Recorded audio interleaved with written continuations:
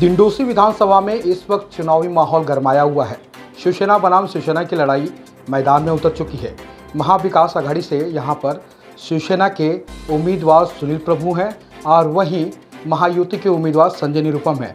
ऐसे में सुनील प्रभु के महाविकास आघाड़ी के तौर पे, सुन के तौर पे यहाँ पर वार्ड क्रमांक सैंतीस, अड़तीस, उनतालीस में कांग्रेस के एक युवा और चहेते नेता लोगों के बीच में घर घर जाकर के प्रचार प्रसार में जुटे हुए हैं।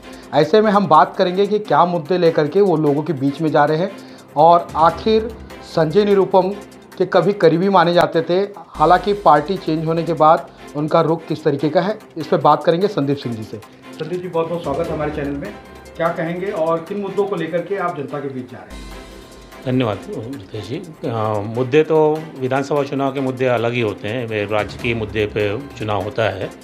तो फ़िलहाल तो यहाँ पे चुनाव का एक ही मुद्दा है वफादार बनाम। वफादार बनाम महायुति या वफादार वही महायुति और महा महाविकास आघाड़ी है। तो हम हम पूरी कांग्रेस पार्टी जो कि महाविकास आघाड़ी का एक दल है। तो हम सारे मिलकर पूरे जोश और शोश में महाविकास आघाड़ी का ही काम कर रहे हैं। इससे पहले देखा गया था लोकसभा चुनाव था और संजय निरुपम भी यहाँ से चुनावी उम्मीदवार हुआ करते थे। और उस दौरान देखा गया था कि संदीप सिंह वार्ड क्रमांक तिरालीस में मैंने गौर थोड़ा सा ये किया था कि लगातार लोगों के बीच में जाकर के तरह तरह के खुद के भी एजेंडे बना करके उनको जिताने की कवायद कर रहे थे आज वो विपक्ष में चुनाव लड़ रहे हैं।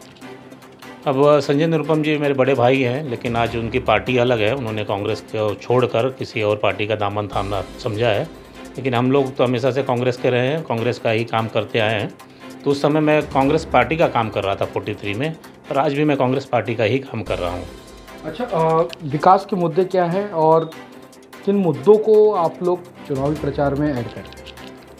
विकास के मुद्दे मतलब अभी महाविकास आघाड़ी का एक अपना घोषणा पत्र है। उस घोषणा पत्र में जो जो हमने वादे किए हैं जैसे कि महिलाओं को महालक्ष्मी योजना के अंतर्गत में तीन हज़ार रुपये देना किसानों को सम्मान निधि बढ़ा कर देना किसानों का कर्जा माफ़ करना बेरोजगार युवाओं को चार हज़ार महीने का या तो उनको नौकरी देना नौकरी नहीं दे पाएँगे तो उनको बेरोजगारी भत्ता चार हज़ार रुपया महीना हम दे रहे हैं। संदीप जी आपसे दिंडोसी विधानसभा में सुनील प्रभु ने कितना विकास किया है? दिंडोशी विधानसभा में एक आमदार अपने एम पी लेट फंड से जितना विकास कर सकता है उस पूरे एम पी लेट फंड को सुनील प्रभु जी ने हमेशा हमेशा जब भी उनका दो टर्म रहा है उन्होंने पूरा लगाया है। क्योंकि प्रजा फाउंडेशन वगैरह जो भी संस्थाएँ जो विधायकों का काम का लेखा जोखा करती हैं, उन्होंने हमेशा सुनील प्रभु जी को एक नंबर या दो नंबर पे ऐसे ही तो नहीं रखा होगा ना? उन्होंने काम काज किया है। सुनील प्रभु पे एक आरोप लग रहा है कि पठानवाड़ी की सड़कें चमचमाती है, लेकिन वहीं जो छत्रपति शिवाजी महाराज के नाम पर शिवाजी नगर की सड़कें हैं और भीमनगर की सड़कें, जो डॉक्टर बाबा साहब अंबेडकर का क्षेत्र आता है वहाँ की सड़कों का हाल बहुत ही बदहाल है। तो ऐसे में हाँ ठीक है, अभी उनका विरोधियों का मुद्दा भी ठीक है, लेकिन उनको जनता को ये भी समझना होगा कि पठानावाड़ी की जो सड़क थी ऑलरेडी डीपी रोड का हिस्सा था और ओपन डीपी रोड था वो। तो उसको बनाने में उतनी कठिनाई नहीं आती है। और जो शिवाजी नगर और भीमनगर के सड़कों की बात कर रहे हैं तो वहाँ पे जो एग्जिस्टिंग सड़क है, वो हमारी डीपी नहीं है। डी डीपी सड़क डीपी जितनी भी हमारी डीपी रोड है, उस पर स्लम बसा हुआ है। जो हाँ झोपड़े बसे हुए खासकर उत्तर भारतीयों के झोपड़े बसे हुए तो क्या विरोधी चाहते हैं कि उन झोपड़ों को उत्तर उखाड़ के फेंक दे और वहाँ सड़क बनाए? नहीं डीपी रोड की डेमोलिशन की मैं बात नहीं कर रहा हूँ। उन सड़कों की बात कर रहा हूँ जो इस समय बदहाल हालत में है। क्योंकि श्मशान में जाने के लिए एक ही श्मशान है गांधीनगर में। वहाँ पे जाने के लिए कई बार देखा गया है, कंधे पे लाश है और गड्ढे में पैर है। एक तो हम दो 200-300 मीटर के पट्टे की बात कर रहे हैं। इस पूरे विधानसभा में सिर्फ़ 200-300 मीटर का पट्टा ही तो पूरे विधानसभा का सड़कों का हिस्सा नहीं है। लेकिन इसके अलावा भी पूरे विधानसभा में। हाँ एक तो एक जो आप गांधीनगर की बात करते हैं गांधीनगर की सड़क उस सड़क का ही इशू है कि वो कांदीवली असेंबली में है या इस वार्ड में है? वो तो आपका आप पत्रकारिता भली बात जानते होंगे। तो उस पर लेकिन जब भी मौका मिला है तो सुनील प्रभु जी ने उस पर काम किया है अपना फंड लगाया है। दूसरा एक शिवाजी नगर का सड़क थोड़ा सा आगे जाता है तो यहाँ शिवाजी नगर के दोनों तरफ़ की झोपड़पट्टी सारे ऑलरेडी सारे बिल्डिंग्स बन रही हैं। अब उस पर फिर उन बिल्डर्स के बिल्डर्स का दायित्व तो हो जाता है कि वो फटाफट डीपी रोड खोलें और इस रोड को बाहर बाहर रोड को बहाल करें तो और सड़कें उस संदीप की छः से सात डीपी रोड डिंडोसी विधानसभा में अंतर्गत में आती है। हालाँकि एक डीपी रोड को खोला गया है और बाकी जो 91 के डीपी रोड में जिसका नाम है और 1935 के अभी 2035 के डीपी रोड में भी उनको नामांकित किया गया है। हालाँकि अभी पिछले 10 साल से सुनील प्रभु विधायक के तौर पे थे। लोगों का आरोप है कि वो खोलने में अभी तक असक्षम क्यों है? असक्षम मतलब वो सुनील प्रभु का एक ही मानना है कि जब हम यहाँ से जनता को, जनता के झोपड़े तोड़े तो उनको उन्हीं की जगह पे जनता उनका घर मकान मिलना चाहिए। इसके बाद बात तो बहुत बार आई कि इन, इनको हटा कर माहौल भेज दें या चांदीवली भेज दें ऐसी कई बार बातें आई लेकिन सुनील प्रभु जी ने उसका हमेशा विरोध किया जनता की मांग पर। जनता क्या जनता अगर जाना चाहेगी माहौल तो भेज दिए जाते हैं लेकिन सुनील प्रभु जी जनता के साथ खड़े हैं। वो नहीं चाहते कि डीपी रोड के नाम पे इसके नाम पर जनता के घर को तोड़कर उनको अपने इलाकों से कहीं दूर भगा दिया जाए। अ, लाडली बहन योजना कितना कारगर साबित होने वाला है? शिवसेना के लिए या कितना हानिकारक साबित होगा? वहाँ विकास। लाडली बहन योजना बेशक मायावती का आघाड़ी का एक अच्छा सा, अच्छी योजना है। उन्होंने लाई है अच्छा काम किया है। लेकिन मैं भी जहाँ तक लोगों के बीच में घुमा हूँ महिलाओं के बीच में तो उनका, महिलाओं का खुद का कहना है कि ये हमारी जेब से पाँच हज़ार रुपया महँगाई के नाम पर लूट रहे हैं लोग। और उस पाँच हज़ार रुपये में से हमको पंद्रह सौ की खैरात दे रहे हैं। तो ये नहीं चलेगा। अगर आपको लाडली बहन को सचमुच लाडली बहन मानते हैं तो आप महँगाई भी कम कीजिए और ये लाडली बहन योजना को भी चालू रखिए। तो महाविकास आघाड़ी इसके ऊपर अपनी योजना लाई है, महालक्ष्मी योजना। और महाविकास आघाड़ी का जनता से वादा भी है, अब उनकी लाडली बहनों से वादा भी है कि महँगाई को भी कम करेंगे। आपके जेब का पाँच हज़ार रुपया लूटना भी बंद करेंगे और आपको महीना तीन हज़ार रुपया देंगे हम। संजय निरुपम ने बीते दिनों एक प्रेस कॉन्फ्रेंस करके उन्होंने कहा कि सुनील प्रभु बिल्डरों के दलाल हैं। हालाँकि उन्होंने एक एफिडेविट दिखाया उस एफिडेविट में उन्होंने अपने सत्यापन शपथ पत्र में लिखा है कि हमें अ, मेरे पास जो कमीशन है और विथ जो उनकी सैलरी है उसको डिपॉजिट करते हैं उस तरीके का उन्होंने आकलन किया है उसी एफिडेविट के बुनियाद पे वो कहते हैं कि वो दलाल है। अब विरोधी है विरोधियों का काम है एक दूसरे पर आरोप लगाना तो मैं संजय निरुपम जी का तो हमेशा से काम है व्यक्तिगत आरोप व्यक्तिगत आरोप लगाते आए हैं। जिस जिस जिस पार्टी के साथ खड़े हैं वो कौन लड़ा अभी लोकसभा का चुनाव? उनके खि उनके खिलाफ उन्होंने क्या क्या कहा है क्या क्या कहा है? अभी आज उन्हीं को लेकर उन्हीं के पीछे पीछे चल रहे हैं।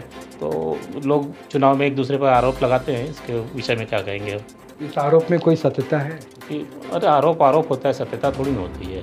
सुनील प्रभु जी लोगों के घर तक 24 घंटा मौजूद रहने वाला कहा कि जो क्षेत्र पानी के लिए पिछले 10 सालों से जाना जाता था प्रसिद्ध था। वार्ड क्रमांक उनतालीस और अड़तीस। ये पानी के लिए प्रसिद्ध वो वार्ड जाना जाता था जहाँ पे जनसंख्या बढ़ने का कारण ही पानी है। और आज पिछले 10 सालों में उस पानी को बिल्डरों को दे दिया गया है। नहीं अभी आप तो कह रहे हैं कि दस सालों से जाना जाता था कि पानी ज़्यादा है। अब आप दो चार महीनों साल की बात कर रहे हैं कि बिल्डरों को दे दिया गया पिछले दस सालों से पहले जो आबादी बढ़ी उसका आकलन किया जाता है कि पानी की वजह से आबादी बढ़ी। लेकिन आज पानी की किल्लत बढ़ती जा रही है और लोगों का आरोप है कि उनकी पानी, जो पानी की सुविधा है, क्योंकि आपके कुछ कांग्रेस के कई पदाधिकारियों ने भी इस पर धरना प्रदर्शन, मोर्चा और कई सारी टिप्पणी की थी इससे पहले। नहीं, पानी की किल्लत तो पानी की किल्लत अगर महाराष्ट्र में या इस असेंबली में है तो मुख्यमंत्री जी इस असेंबली में, मुझे लगता है हर दूसरे महीने आते हैं। पिछले दो साल में हर महीने हर महीने मुख्यमंत्री जी ने यहाँ दौरा किया है, पिछले दो महीनों में। क्या उनको लोगों ने नहीं बताया कि पानी की किल्लत है हमें पानी की किल्लत से दूर कीजिए? क्या उनको नहीं बताया लोगों ने कि सड़क यहाँ बेकार पड़ी है अब सड़क बनवाई है? क्योंकि आज पिछले दो साल से बीएमसी है नहीं काम नहीं कर रही है। बीएमसी का पूरा पूरा हैंड ओवर सीधे मुख्यमंत्री कार्यालय को है। मुख्यमंत्री कार्यालय का अब ज़िम्मेदारी बनती है कि कब कहाँ पानी है कहाँ सड़कें खराब है वो देखे हों। तो मुख्यमंत्री के कार्यालय का काम है। जी अ, एक अ, उनके मैनिफेस्टो में और एक वीडियो जो सोशल मीडिया पे उनकी तरफ़ से वायरल किया गया है। कहते हैं कि यहाँ पे जो फायर स्टेशन है सुनील प्रभु ने बनाया है। लेकिन उसका उद्घाटन एक नाथ शिंदे ने किया है। अब राजनीति में जो सरकार में रहता है वो तो हमेशा ही। अभी जैसे कि जितनी भी कांग्रेस ने योजनाएँ लाई थी कांग्रेस ने काम किया था। अब मोदी जी का सौभाग्य है कि उनके कार्यकाल में वो सब काम पूरे हुए और उन्होंने उद्घाटन किया। ठीक है जनप्रतिनिधि कोई भी हो काम होना चाहिए जनता का। उद्घाटन कोई भी करे इसमें हमें तो कोई ऐतराज दिक्कत वाली बात नहीं लगती है। फाइनली जनता और विपक्ष के जो उम्मीदवार हैं उनके लिए क्या कहेंगे? जनता और विपक्ष के उम्मीदवार। आप निरुपम जी की बात करें। हाँ, निरुपम जी मेरे बड़े भाई जैसे हैं। हमेशा मैंने उनका सम्मान किया उन्होंने भी मेरा सम्मान किया है लेकिन आज वो अलग आज वो दूसरी पार्टी में है हम अपने घर में हैं तो उनको शुभकामनाएँ देते हैं। और हम विचारधाराओं की है। हाँ बिल्कुल राजनीतिक विचारधाराओं की लड़ाई होनी चाहिए। किसी के ऊपर व्यक्तिगत कटाक्ष या व्यक्तिगत आरोप लगने भी नहीं चाहिए। आप राजनीतिक आरोप लगाइए राजनीतिक विचारधारा में लड़ाई लड़िए वही वही राजनीति सही तरह जनता के लिए मेरा यही मैसेज है कि आप भी अब व्यक्तिगत व्यक्ति व्यक्ति तो देखिए आपके बीच में कौन आपको समय दे रहा है कौन आपके लिए 24 घंटा उपलब्ध है। तो जहाँ तक मैं हम भी विपक्ष में रहे हमेशा तो सुनील प्रभु के साथ जब भी हमारा नाता पड़ा है हमने किसी को भी भेजा है तो चाहे रात हो डेढ़ रात हो, एक बजे हो, दो बजे हो, हमने फ़ोन किया है, उन्होंने फ़ोन अटेंड किया, हमारे लोगों का भी काम किया उन्होंने।